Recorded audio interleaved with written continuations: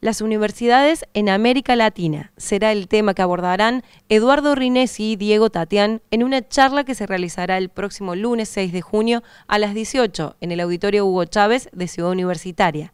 La actividad será abierta a todo el público y está siendo organizada por la Cátedra de Odoro Roca, la Facultad de Filosofía y Humanidades y agrupaciones estudiantiles.